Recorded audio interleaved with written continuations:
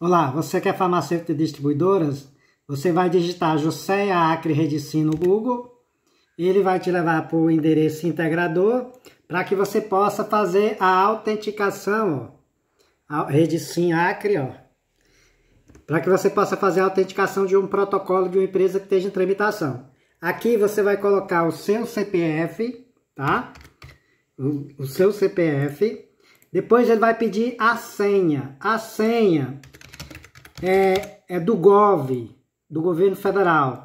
É a mesma senha que você usa para a carteira de trabalho, para o e-título, para a CNH digital, porque é uma senha só, é tudo padronizado agora, tá bom? Então aqui, ó, quando você está dentro do portal de serviço da Junta Comercial do Acre, você vai no botão inscrições e licenciamento. Aqui você vai digitar o CNPJ da empresa que você quer fazer a busca. Depois você confirma que você não é um robô, que você é uma pessoa, tá?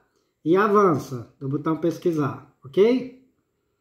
E lembrando que esse tipo de autenticação aqui, esse tipo de autenticação é somente para as empresas de Rio Branco. As empresas do interior ainda é o protocolo antigo de papel, ok?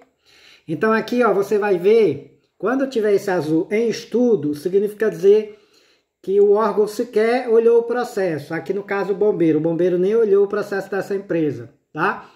Ele ainda vai abrir o processo e depois interagir com a empresa. Aqui embaixo está os dados de, da Prefeitura de Rio Branco. Ó. É, a vigilância sanitária está em estudo, a Prefeitura está em estudo, tá? Meio ambiente logo logo vai concluir, porque a drogaria não submete ao meio ambiente. Exigência é o quê? Porque já houve uma interação. Que interação é essa? O, a, a, esse órgão aqui, o CEFIM, que é quem emite a taxa, ele vai dizer que a empresa é de alto risco e precisa primeiro ter o bombeiro e ter a vigilância sanitária e ter a prefeitura, para depois ir para a geração da taxa, porque a taxa é o último, certo? Eu vou colocar aqui de uma outra empresa que já teve o processo liberado, tá? Vou botar aqui de uma que já teve liberado para vocês verem como é o processo já liberado. Só um pouquinho. Aí lembrando, gente, o protocolo é o protocolo de o protocolo do interior, as cidades do interior, é o antigo, é o de papel ainda, tá bom? Ó, veja só, essa empresa já está conclusa no Bombeiro, já está conclusa em, é, na Cefaz e já está conclusa em tudo, ó. Já está conclusa na Cefim, tudo, ó. Vigilância sanitária. Vamos clicar aqui para ver o que é que diz a vigilância sanitária, ó. Aí, ó. O grau alto risco e aqui está dizendo, ó.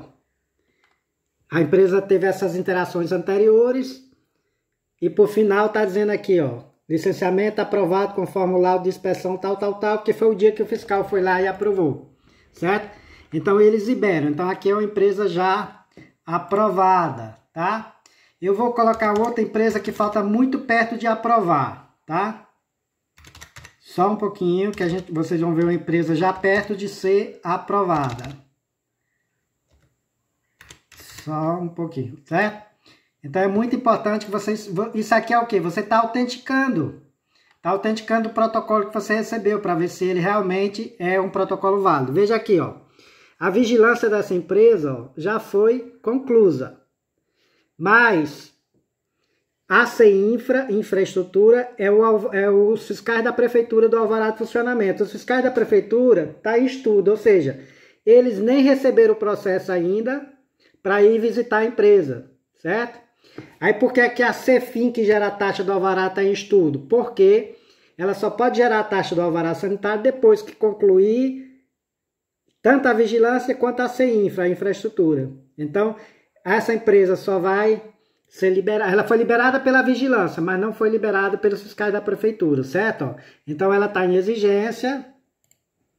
Quando concluir, quando, quando os fiscais da prefeitura for lá na empresa liberar ela e tiver o nome aqui concluso, em ser infra, concluso, aí vai ser emitida a taxa, a empresa vai pagar e vai ter o alvará.